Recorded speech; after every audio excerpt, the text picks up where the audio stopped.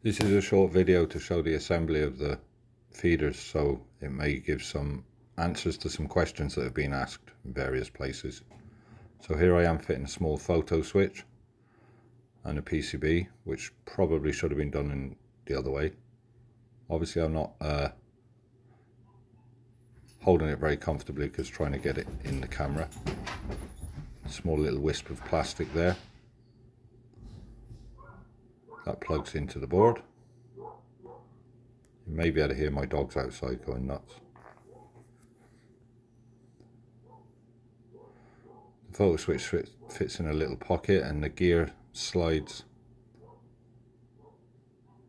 onto a, a shaft sticking out so that the teeth pass through the photo switch and indicate each pitch of the feeder. So this will pick up a 4mm pitch, but uh, it's a stepper motor driving it so it can be positioned very accurately. Less than that, but it will correct itself every 4mm.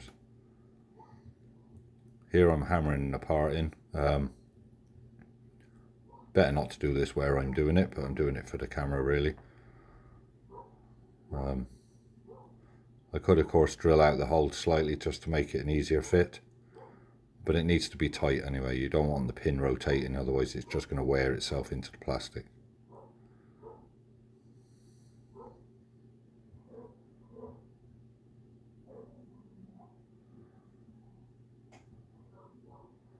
And the two red gears rotate on these uh, pins.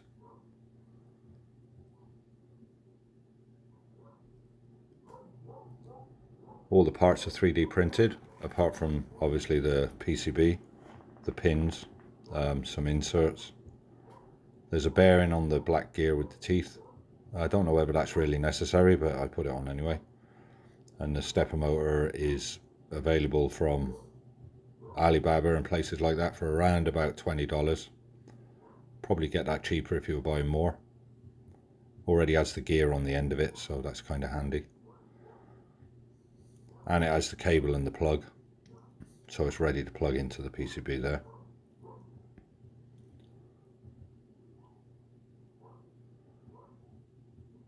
Um, then the gears press in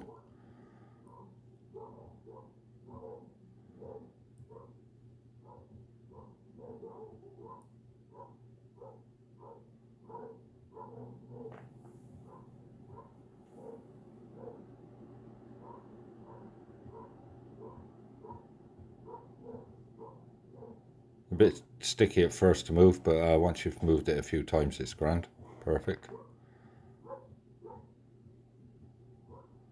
And here, um, the second gear goes in, and I have to loosen the screw on the back of the feeder just to move them, allow the motor to settle into the right position. It's a little bit tight there. Should move very easy with your fingers.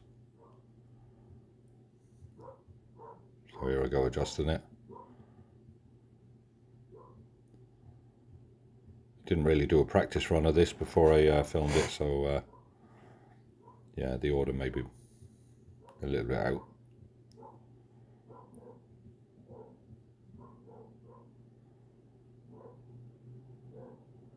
Don't know what I'm looking for here.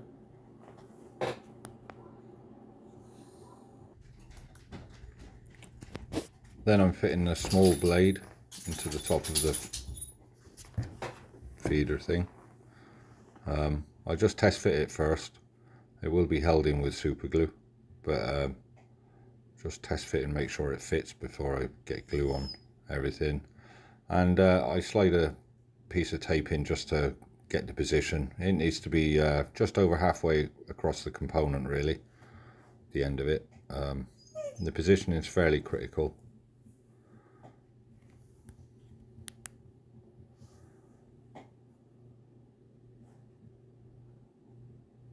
And I'm just squeezing it in with a pair of uh, long nose pliers. Now this is a blade that's bought off of Amazon um, and then I have to tickle it with a grinder just to change the shape of it slightly. I'll put a picture of the blade later in the video.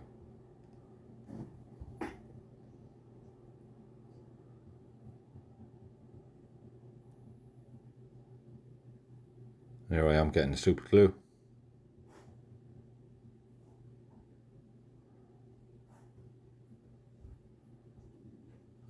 applying it to the back of the blade. Obviously there's a bit of risk here that you're going to stick your fingers to it so you need to be a little careful and you don't want super glue over everything.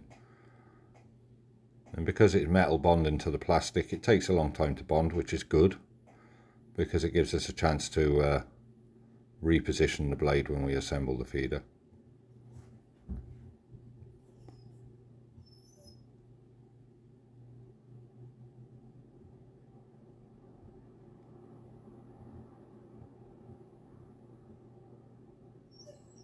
I did uh, have a go at printing these blades, which uh, it kind of worked. Um, but I think the metal blade is better because it cannot be bent by the material passing over it. And obviously it'll last a lot longer.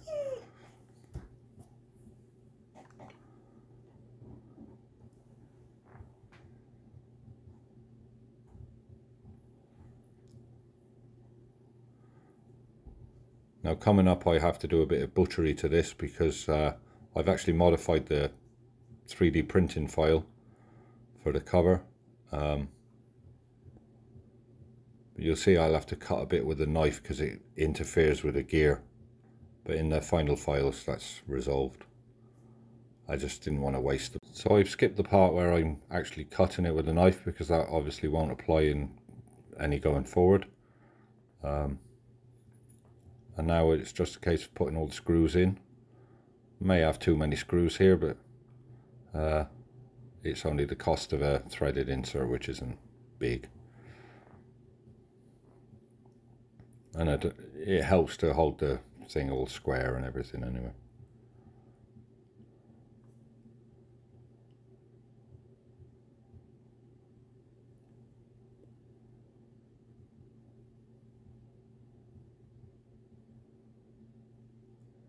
The PCB itself has a RS485 uh, communication kind of uh, interface um, and a small microprocessor which is a I can't remember actually but I'll detail it later. It's an STM32 very small uh, chip that's around about $1.20 I believe. And I don't use an external clock I implement an EEPROM sort of thing in software um, just to store settings because you can adjust the step rate and things like that. Um, at the moment in the videos I have it moving, taking around about a second to move, um, which is fine in my case because I'm using a Liteplacer, which is quite slow anyway. Um, and I perform the feed after I do the pick, so there's no urgency really. It can wouldn't matter if it took a few seconds because it's only a single head and it's got to go and place the part before it's likely to come back and never need to do it again. So this is probably boring but I may as well just show it.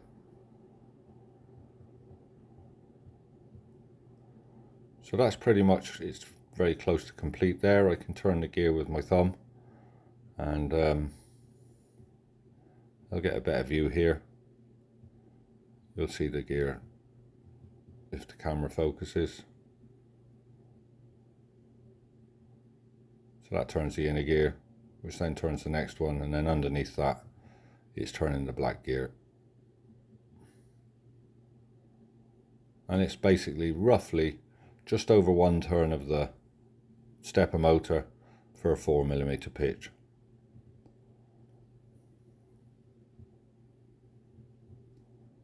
I don't actually use any components with a pitch less than 4 millimeters, um, but it will pitch uh, 2 millimeter pitch. Also, the, the pickup window is big enough that you could have two components in there and you could do um, things with OpenPnP so that it'll pick twice but from two slightly different positions. So you feed once, pick twice kind of situation. Not sure how to do it, but uh, haven't needed to. And here I am going to check that the blade is in the right position by uh, feeding a, a reel. just by hand and I'll tweak the blade. So I have a few more minutes until the glue's gone and set properly and uh, so I take advantage of that.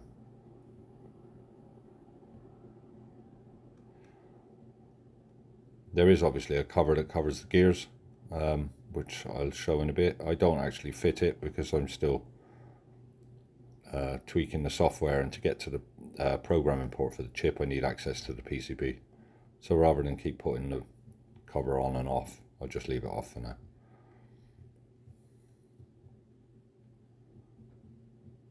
And here I am uh, checking the alignment. I grab a bit of the tape and I just pull it and it's stripping and peeling the tape off to one side.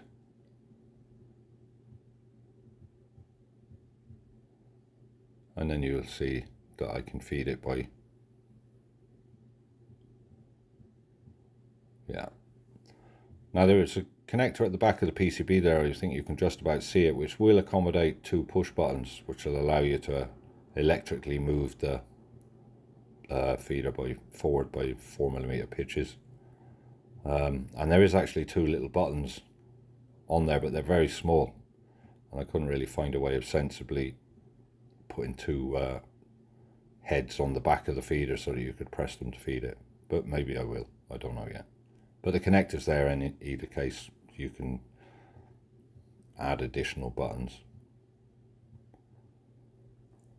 Then this plate goes over and I'll tap the pins down the dowel pins so that they're flush with the board or with the cover and it acts to hold them straight and parallel to the holes behind.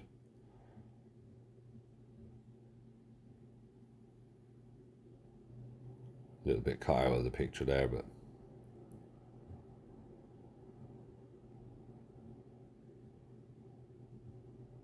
and I'm pointing at the fixing screws but unfortunately you can't see them. You see them there, there we go. Now the holes, the openings where um, you can see through, they were on a previous version of the feeder where everything was slightly narrower and I needed that clearance to allow the plugs to fit in there properly. Uh, don't need that now so I'll probably get rid of the windows, not sure.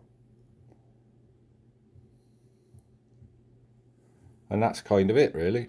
And the next part, here is some software where I can uh, write to the serial port and read obviously and uh, I send a load of uh, M901 commands to any serial number that I have. And uh, I get a reply from the feeders if they're actually there. So you can see there the replies are showing for six feeders. Um, I can set an address but I just I'm just using the serial number really at the moment. Um, and you can see the acceleration deceleration settings which are all adjustable with M codes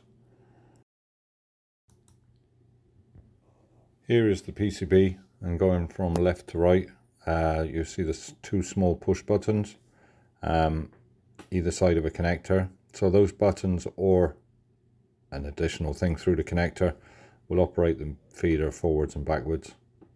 Then there's um, an adjustable resistor above the capacitor big round thing. Um, that's for adjusting the current limit on the motor. Um, the motor is actually switched off once it's done its move. Uh, this conserves power and saves the motor getting hot and affecting the plastic. Then moving further on, you have the stepper driver itself. Um, above the connector for the stepper motor. Further on again, power supplies. And then further on from that, um, you have the small microprocessor, microcontroller followed by the RS485 chip with a connector for the photo switch. And then right on the end of the board are the little pins, uh, push pin things that make contact with the four tracks on the actual pick and place machine.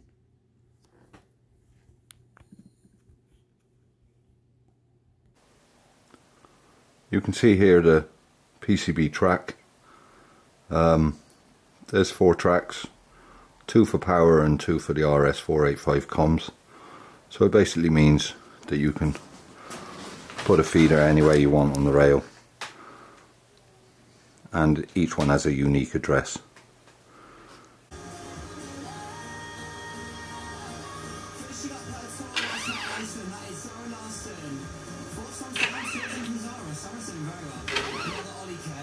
Well. Okay, Will, where is Black?